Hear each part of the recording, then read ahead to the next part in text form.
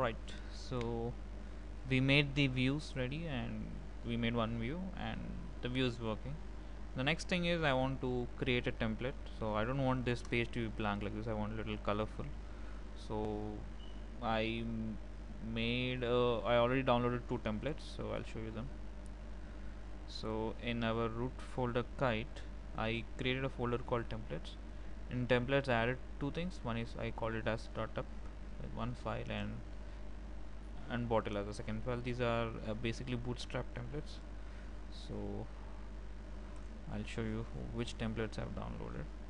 So in bootstrap go to the getting started. And there there are some examples. So there's something called a starter template. So this I've downloaded and I call it as a startup.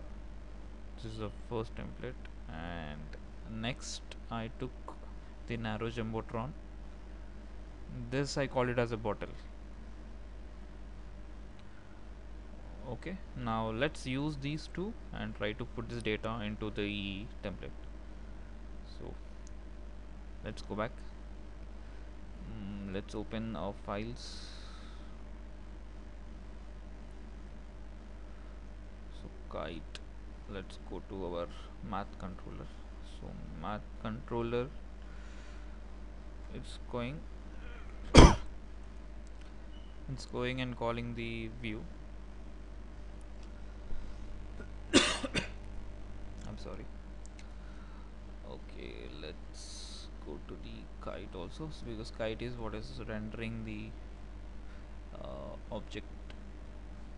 So so in the view uh, how do I do it? So I just made a rough sketch of how do we use the templates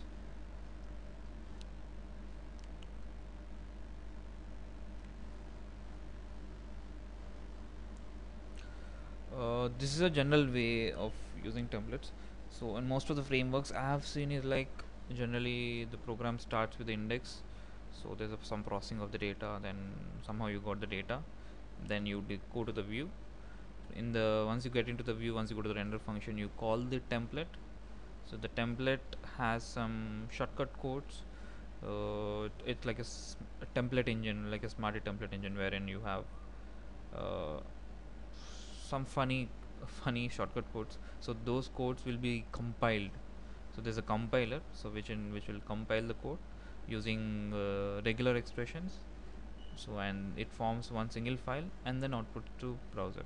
So in this regular expression conversion it it consumes a bit of time. So I don't want to waste the time. I just want to optimize that. So I'll be using in a different way. So what I'll be doing is once the code is processed once you have the data. So I'll put everything into the basket and basket will hold the uh, data. So once then I'll go to the render function. So in the render I'll directly call the template. The template will have the function okay? That function will go and fetch the data and it will display. We never we don't use any of the regular expression. So it will save our time. So let me stimulate this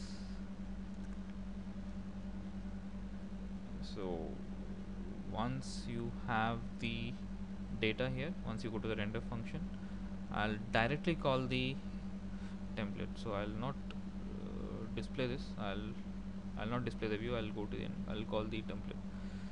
So let's let's call the template so let's use the startup template. Start up and in that I think it is um, what exactly it okay this is default. Default dot php I believe. Uh, no I think index it's index dot php okay so I'll directly call and let me see if it's working. Uh, unexpected error syntax 53 53 okay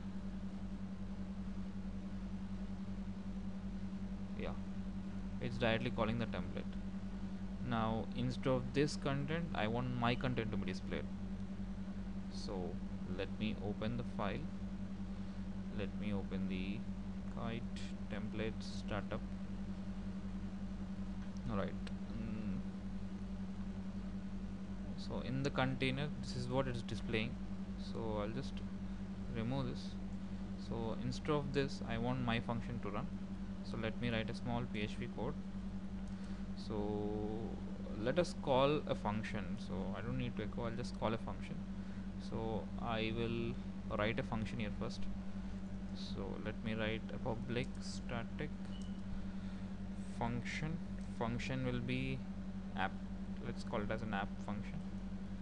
So it has to load the basically the application. So what is my application so require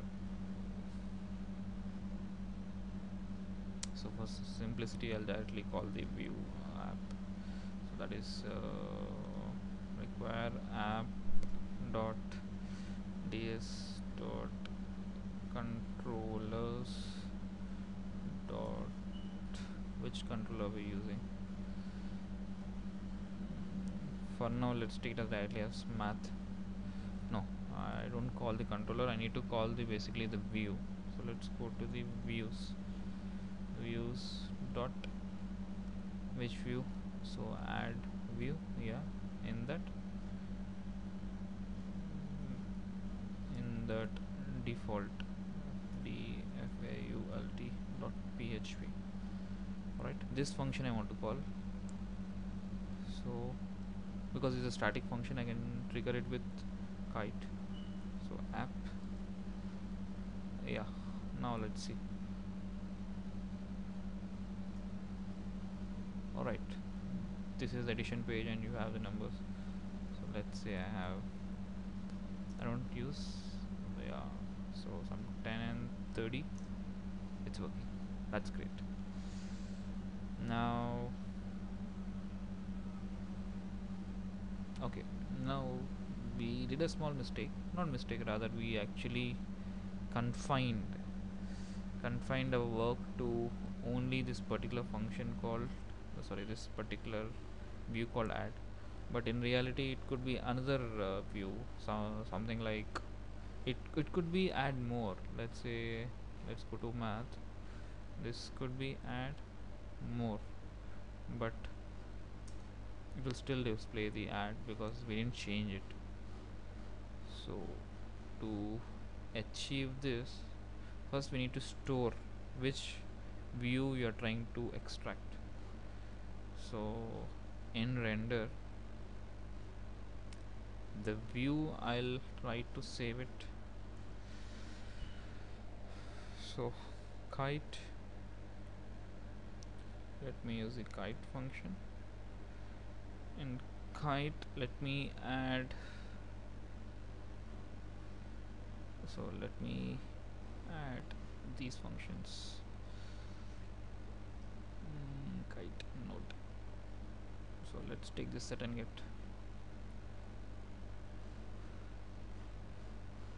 the main and then set and get.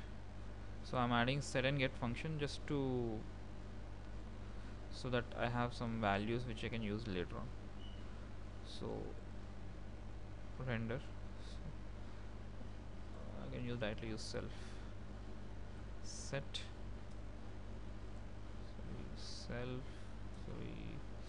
Set. Mm, set the view. So view is basically which view am I using? So that is view. Alright.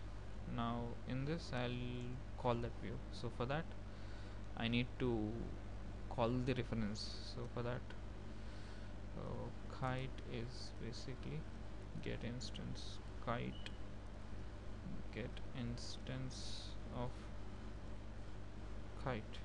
Why exactly I'm doing this is so that uh, when I store this so oops I think for this we need to store it in the same reference. I can't use it somewhere. So get the kite and get the kite object so in the same kite object you need to set this. So once you do that when you call the kite and kite get view. Oh this will be view. And instead of this add now I'll directly use view now let's see if this is working. Oops. View so view is open. View is empty here. This is line 77 77 kite. Uh, let's print out kite. Where? Dump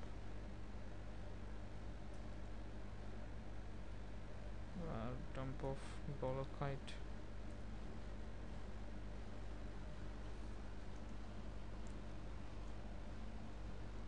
oh nothing is coming. Get instance of kite and uh, render. Oops I think this is this has to be done first yeah.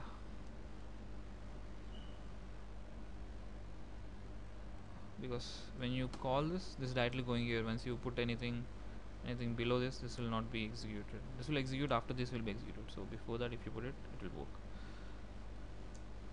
Yeah this is working. Now if I put the math if I put add it will go with the same thing okay is working